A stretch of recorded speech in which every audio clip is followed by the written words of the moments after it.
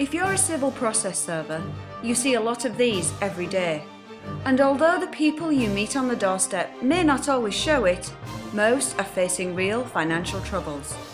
Don't you wish you could leave some hope behind? Now you can.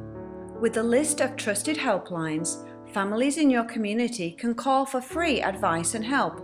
Published by CareConnect USA, a public benefit organisation, this list of helplines can give troubled families the direction they need. The calls are routed to government agencies, non-profit outreach groups and private help centres of good standing. These agencies must maintain high standards of conduct to be allowed in the CareConnect network. Not sure if this will comply with procedure? Well, according to Susan Moore, an attorney who writes on the subject, sheriffs may choose to allow their deputies to distribute these notices as a service to their communities.